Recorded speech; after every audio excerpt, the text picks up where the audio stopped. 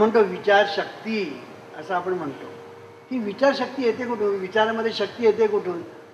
त्याचं कारण विचारामध्ये पंचमहाभूतांचा वास आहे.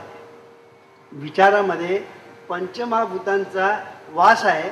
शिवाय चैतन्य शक्ती आहे ती वेगळीच. कारण चैतन्य शक्तीचा स्फुरण म्हणजे विचार. म्हणून चैतन्य पाण्याला उकळी येते. पाण्याला जेव्हा उकळी येते त्या त्या उकळीमध्ये पाणी असतं. कारण पाण्यातूनच ती उकळी आलेली असते. तसा विचार हा चैतन्यातून निर्माण झालेला असतो. म्हणून चैतन्य शक्ती ही त्या विचारामध्ये मुळातच असते. शिवाय त्याच्यामध्ये पंचमहाभूत असतात. म्हणून विचार आकाराला येतात. ही पंचमहाभूतं कशी असतात? तर आपण विचार करतो. त्यावेळेला विचार करण्यासाठी जो एक अवकाश असतो तो अवकाश म्हणजे आकाश तत्व विचार हा स्फुरत असतो. तर स्फुरणाचा जो स्वभाव आहे ते वायुतत्व.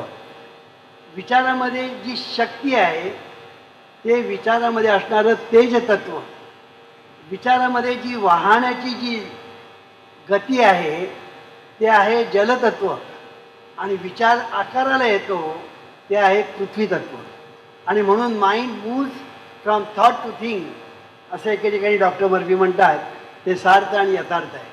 Mind moves from thought to thing की विचाराकडून सरकत सरकत सरकत विचार साकार होतो. म्हणून विचार चांगले करायला शिका असं जीवनविद्या सांगतं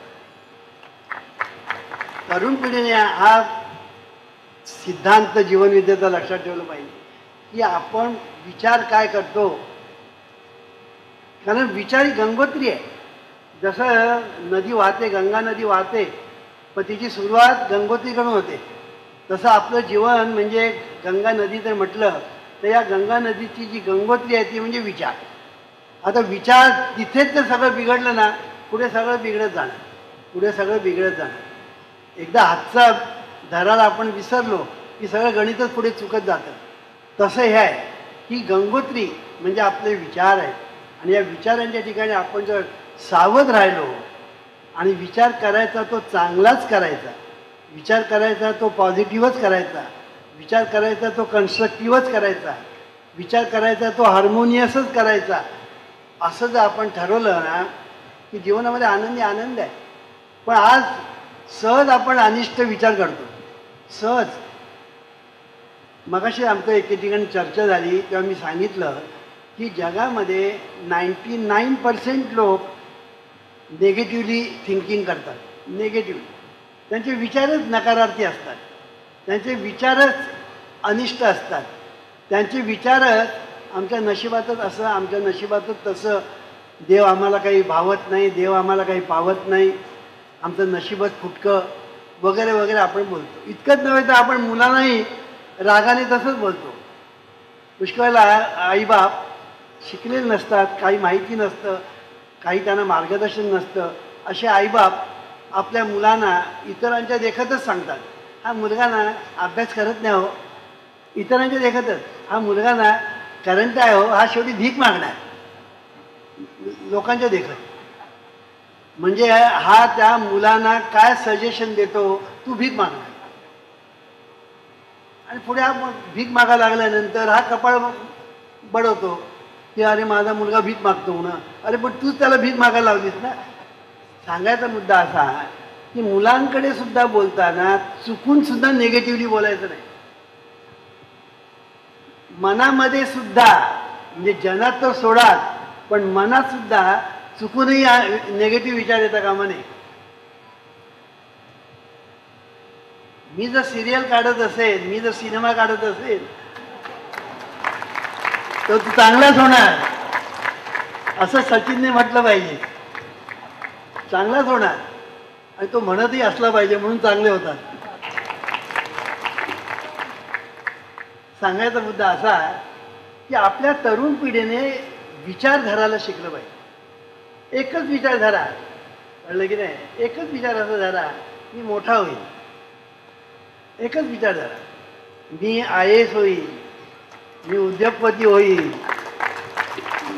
मी चांगला इंजिनियर होईल चांगला. मी चांगला डॉक्टर होईल मी चांगला सायंटिस्ट होईल मी या राष्ट्राला सर्व राष्ट्रांच्या पुढे नेईन. अशा तऱ्हेचे विचार तुम्ही बाळगायला शिका. आणि अशा तऱ्हेचे विचार तुम्ही बाळगावे. तुम्हाला हे बाळकडून मिळावं म्हणून आम्ही स्फूर्तिगीत शेवटी म्हणतो. सगळा कार्यक्रम झाला की आम्ही स्फूर्तिगीत म्हणतो. पण स्फूर्तिगीत म्हणताना मला असं आढळून आलं आता आमच्या स्फूर्तिगीतमध्ये काय आहे? हे जग सुखी व्हावे आणि हे राष्ट्र सर्व राष्ट्रांच्या पुढे जावं अशी आपण त्याच्यामध्ये आणि म्हणत असतो आपण. आता सर्व राष्ट्रांच्या पुढे आपण जावं हे जग सुखी व्हावं असं आपण जर तोंडाने सुद्धा म्हणू शकत नाही तर आपण हाताने काय करणार? आपण हाताने काय करणार?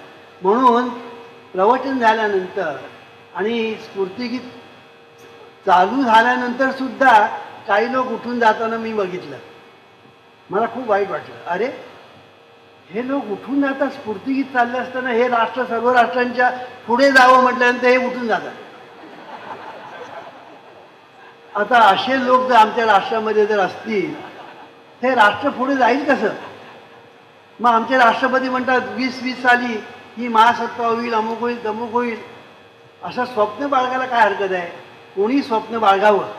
पण हे स्वप्न स्वप्न प्रत्यक्षामध्ये उतरण्यासाठी आपण निदान तोंडाने बोलायला तरी शिका की हे ज राष्ट्र सर्व राष्ट्रांच्या पुढे जाऊ दे. हे निदान तोंडाने तरी बोला.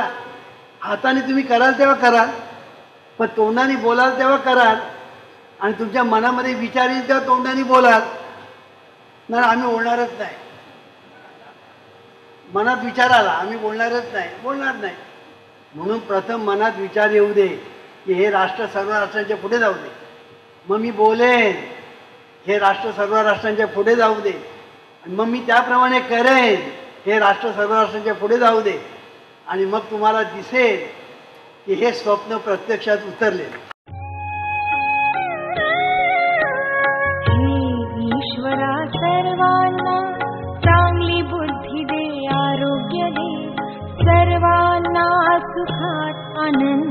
ऐश्वर्यात ठेव सर्वांचं भलं कर कल्याण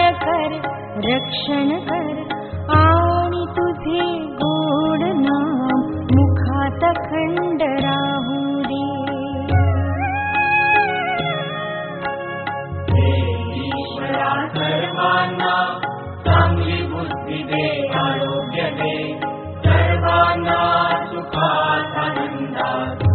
ईश्वरी आरती